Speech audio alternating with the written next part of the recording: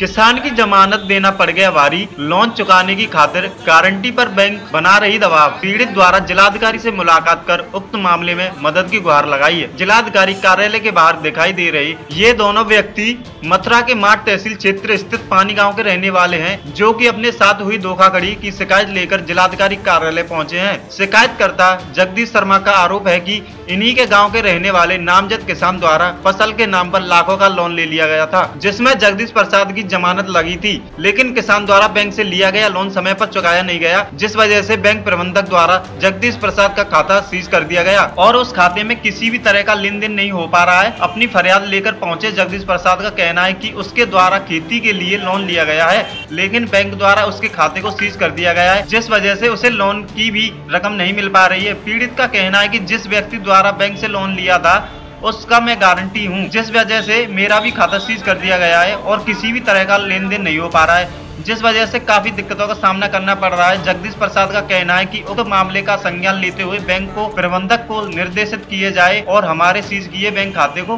सुचारू रूप से चालू किया जाए। मेरा नाम रामहरी शुक्ला है जी। जी कहाँ से कहाँ के रहने वाले हैं आप? हम पानी गाँव के रहने वाले हैं। क्या आज डीएम से क्या शिकायत करने आए क्या डीएम साहब से हम शिकायत करने आए थे कि मेरे पिताजी ने गाँव के ही किसी व्यक्ति की जो है लोन लेते समय गारंटी दे दी थी और अब उस, वो गारंटी जिसकी दी थी किसान की, उसने अपना लोन जमा नहीं किया है और बैंक वालों ने उसकी आरसी भी निकाल दी है और मेरे पिताजी का जो खाता है बैंक वालों ने सीज कर दिया है और उसमें कोई ट्रांजेक्शन नहीं हो रहा है।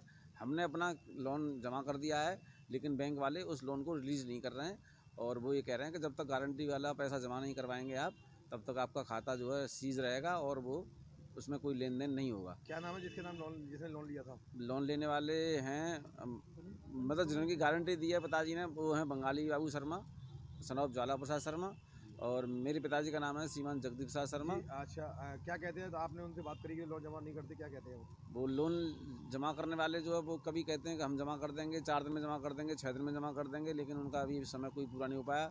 अब मेरी कल परसों बात हुई थी उनसे तो वो झगड़े करने के लिए उतारू हो जाते हैं। और अब वो कह रहे हैं हम तो स्टे लेके आएँगे हाई कोर्ट जाएँगे।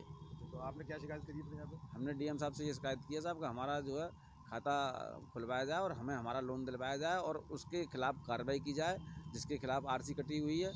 यदि उसकी संपत्ति को कुड़क करने के बाद में पैसा की पूर्ति नहीं होती है बैंक लोन नहीं चुकता होता है तो हम अपनी संपत्ति बेचेंगे या कुछ भी करेंगे हम उसका लोन जमा करवाएँगे।